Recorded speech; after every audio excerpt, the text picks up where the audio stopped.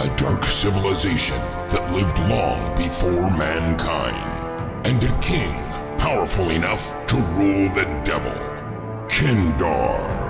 He ruled his world with cruelty for 3,000 years. He sent the men who did not surrender to the underground kingdom filled with pain and torture. No one could come back, but only a mysterious person managed to escape. According to legend, he was an assassin or an exiled king to some. He was overcoming every obstacle in his path and moving towards Kindar's castle with anger and vengeance in his red eyes. Evil forces could no longer stop him.